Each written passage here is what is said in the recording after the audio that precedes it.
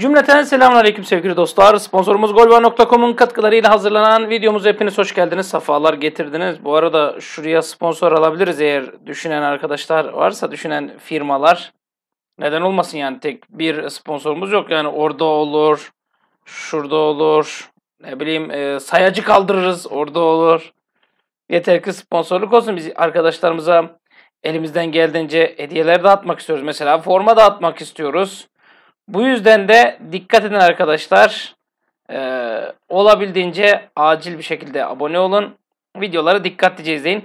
Geçtiğimiz sezonlarda bizim bir e, yöntemimiz vardı. Şöyle. Bir hafta boyunca ben 3 tane şifre veriyorum. Karışık. Yani videonun birinde birinci şifreyi veriyorum. Başka bir videoda ikinci şifreyi veriyorum. Başka bir videoda üçüncü şifreyi veriyorum. Sonra hafta biterken diyorum ki 3 şifre, isim soy isim, adres, beden bilgisi. Bu kadar. Yazıyorduk. Bayağı da güzel katılım oluyordu. Muhtemelen yine bunu yaparız. Hocam abone üye hiç fark etmez ama en az abonelik şart. Ee, onu da söyleyeyim. O yüzden isterseniz bunu yapabiliriz arkadaşlar. Bandırma Spor Başakşehir ile anlaşan Philip Kenny için veda paylaşımı yaptı. Bu Philip Kenny'yi çok merak etmeye başladım. Nasıl bir futbolcu diye. Konya Spor Hatay Spor'dan ayrılan tecrübeli forvet oyuncusu Mehmet Yuf ile prensipte anlaşmış. Sağlık kontrolleri falan filan Inter Milan diyor. Ve e, 1 artı 1 sözleşme teklif edip anlaştı diyor. Tabi bizim maç bugün olduğu için muhtemelen anlaşmış olsalar da imzalayacak olsalar da bu olmayacak. Şimdi ben Fenerbahçe dışına çıkmak zorundayım. Burayı konuşmazsam çatlarım, kafayı yerim, fıttırırım. Trabzonspor'un ligde ilk 4 haftaki performansı. İstanbul Sporu 2-0 yenmek, Hatay Sporu 1-0 yenmek, Antalya Spor'a 5-2 kaybetmek, Galatasaray'la 0-0 berabere kalmak. Yani Antalya hariç ligin en kötü futbol oynayan 3 takımıyla birlikte yani 3 takımıyla ilk 4 haftanın 3'ünde denk gelmek büyük şans. Ha, Kasımpaşa da kötü bir takım. Ümraniye de kötü bir takım ama şu an puan tablosuna bakın Kasımpaşa'nın galibiyeti var. Kasımpaşa da bu Hatay Spor'u yeniyor. Yani düşünün kötünün kötüsü Hatay Spor. Kasımpaşa Hatay'ı 1-0 mağlup ederek bu sezonki ilk galibiyetini aldı. Hatay Spor henüz puanla tanışamadı diyor. Ve golü de Hayradinovic atıyor. Yani düşünün yani e, ben bir şeyi kötülerken boşuna demiyorum. Hocam bizim konumuz bu mu? Yani bizim konumuz Trabzonspor mu? Galatasaray mı? Evet konumuz bu. Galatasaray Süper Lig'in ilk 4 haftasında sadece ama sadece 2 gol bulabildi. Arda Güler de oynadığı 15 dakikada 2 gol bulabildi. Yani ligdeki 2 golü de Gomis'ten geldi. Yeni transfer Sefer Oviç beklentilerin uzağında kaldı. Mertens sanki beklentilerin üstünde kaldı ama e, Samat'ta da Fenerbahçe'ye ilk geldiği maçta 2 gol birden atmıştı. Aklıma gelmişken söyleyeyim dedim. Şimdi 27 Temmuz. Bakın kanalımızda bir kitle var. Keşke o kitleyi bir yere kitleyebilsek. Kanalımızda bir kitle var. Bu kitle, kitleyemediğimiz kitle Serdar Ali Çelikler gibilerin cümlelerini alıp sanki Kur'an-ı Kerim'den ayetmiş gibi tövbe estağfurullah değiştirilemez, kesinlikle doğrudur gibi kabul edip burada konuşuyorlar. Hocam Kur'an'dan örnek ver başka bir şey söyle. Ya arkadaşlar başka neyden örnek vereyim? Ya değiştirilemez bir şeymiş gibi kabul ediyorlar. Öyle ki yani aklım hayalim şaşıyor benim ya. Yapılan yorumlara hayretler içerisinde bakıyorum ya. Şimdi 27 Temmuz Serdar Ali Çelikler. Jorge Jesus'u saklamayın. Bir basın toplantısı yapın. Hocaya Weghorst ve Trezeguet'i niye istemedin diye soralım demiş. Weghorst ve Trezeguet'i. Şimdi eskiler demiş ya bir lafa bakarım laf mı diye bir de söyleyene bakarım adam mı diye diye. Şimdi söyleyene bakmıyorum. Çünkü Serdar Çelikler ağzıyla bizim kanalda da yazan çok fazla kişi var. Şimdi Vegorst'u Trezeguet'i soruyor. Soralım. Hatta Seferovic'i de üstüne ekleyelim. Yani ne yapmak istediğini hep birlikte anlayalım olmaz mı? Yani emin olalım. Kesin emin olalım. Ya e, hani ileri uç oyuncularının ne bileyim pres yapıyor mu? Sürekliliği var mı? Bitiriciliği var mı? Fizik gücü nedir? Herhalde gerizekalı değildir bu adam. Bu adam bu işten yılda milyonlarca euro kazandığına göre. Şimdi şöyle bir şey söyleyeyim. İşim olmaz ama Mustafa Hoca için bir etiket duyun. Kripto parada dünyanın en iyisi diye.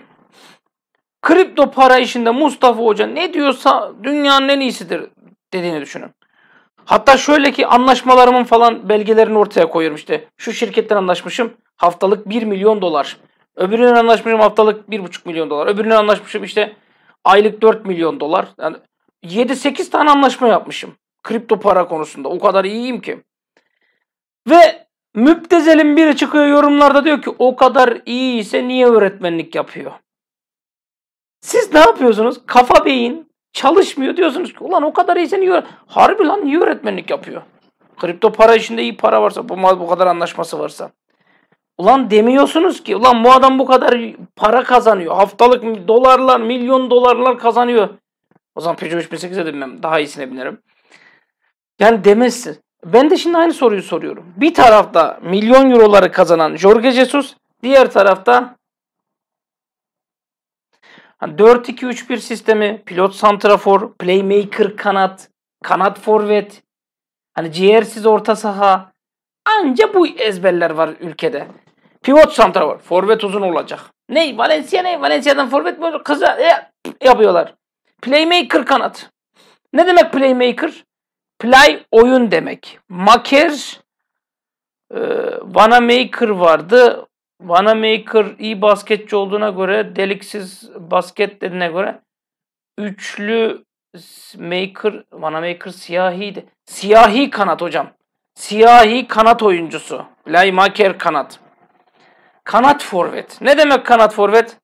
Hocam mangala atıyoruz ya. O değil. O, o sadece kanat. Ciğersiz orta saha. Ya ezberlerin dışına çıktı ya değil mi? Alın size. Şimdi dün Trezeguet'i izlediniz mi? Tipik, klasik Arap oyuncusu. Tipik klasik. Nasıl hocam pis mi kilim? Ya öyle değil. Sadece kendini düşünen, bencillik seviyesi 99 olan, topla 2-3 tane şekilli şükürlü hareket yapıp takım oyunundan uzak olan futbolcu. Ya yetenek var mı? Var ama ama bakın Jesus takım oyununa balta vuran kim olursa olsun maçın içinde antrenmanda direkt ağzına ne gelirse sayıyor. Artı yetiyor mu? Yetmiyor arkadaşlar. Bak yetmiyor. Anında çıkartıyor. Dikkat edin takım oyununu bozan anında çıkartıyor. Dün Kerem Aktürkoğlu'nu izlediniz mi? İzlediniz değil mi? Kerem Aktürkoğlu'ndaki düşüşün farkında mısınız? Farkındasınız değil mi? Şimdi geçen sene Kerem'den beklenen Yunus'tan bekliyorlar. Yunus da bir şey yapamayınca Hızır idi Yunus idi. Farkındasınız değil mi? Dünkü futbolun iğrençliğinin farkındasınız değil mi? Ya arkadaşlar Allah aşkına etmeyin, eylemeyin. Teknik direktörümüze güvenin. Ha, Dangoç'un biri yazmış kanalımızda. Joshua King oynayabilir. Sakat değil. Jesus böyle kendini beğenmiş bir adam. Bu maçta oynatmamak akıl işi değil. Bunu yazan akılsız. Bunu yazan akılsız. Dedim ki ya arkadaş adamdan daha mı iyi bileceksin? Takımla olan o, iç içe olan o. Sen daha mı iyi bileceksin diye. Bunu yazan akılsızın yorumu şu. O zaman Jesus'a tapın. Tapın diyor. Adamı peygamber yaptınız diyor. Yüzde yüz e, teknik direktörü yok. Yüzde yüz teknik direktör diye bir şey yokmuş. Ben yaptığı hataları yazıyorum. King sakat değil oynatılabilir. Böyle de kendini kaftağında görüyor. Bu süzme GZ yorumudur. Hani hakaret ediyor falan filan diyorsun ya kısaltma yapalım. GZ yorumudur bu süzme. Ulan 27 Ağustos'ta yani maçın oynanmasından 2 gün önce takımla birlikte çalışmalara yeni başlamış. Ve yarım çalışmış. Kendini deniyor. Dün İtmanın tamamında yer alan oyuncuyu oynatmadı diye adama demediğini bırakmamak. Siz de ya arkadaş adamdan daha mı iyi biliyorsun dediğin zaman peygamber yaptınız adamı. Tapın adama demek, demek tam manasıyla GZ'liktir. Başka bir tanım yok. Bir, peygambere tapılmaz. İki, Allah dışında kimseye tapılmaz. Ki peygamberi kabul ediyorsan Allah dışında birine tapılmaz zaten.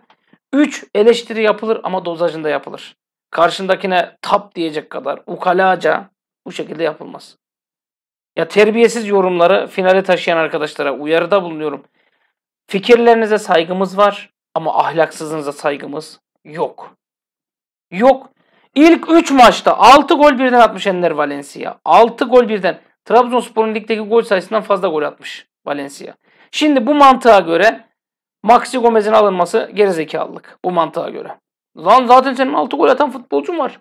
Avrupa'da Avrupa'da atmıyor. Ha tamam. Avrupa'da da Joao Pedro'yu yeni eklersin. Gerek yok ki forvete. Ne para veriyoruz?